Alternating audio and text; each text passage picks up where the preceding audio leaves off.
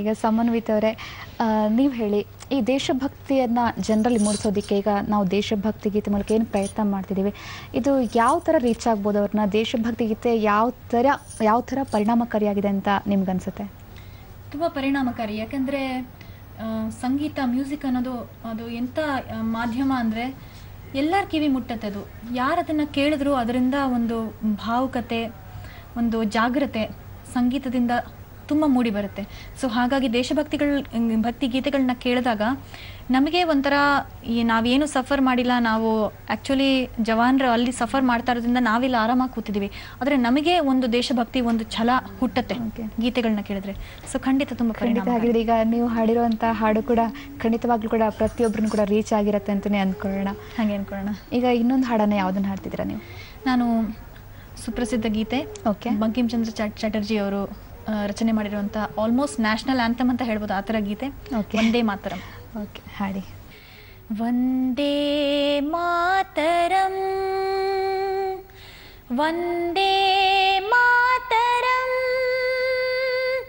ಸುಜಲಾ ಸುಫಲಾ ಮಲಯಜ ಶೀತಲ ಸಸ್ಯ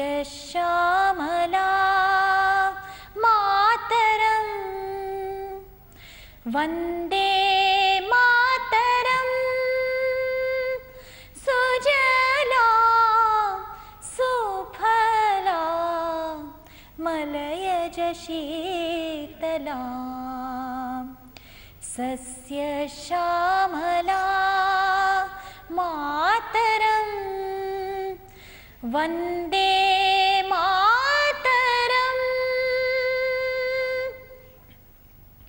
शुभ्रज्योत्स्ना पुलकितयामिनी। पुल्लकुसुमितध्रुमगणशोभिनी सुहासिनी सुमधुरभाषिणी। सुखदां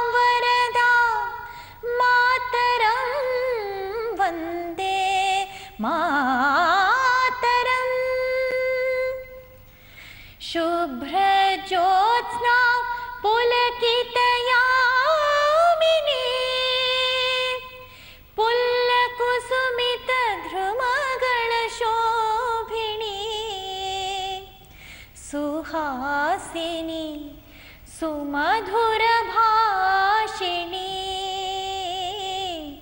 सुखदा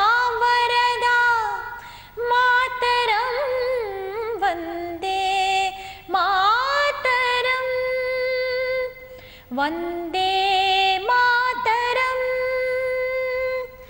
वन्दे मा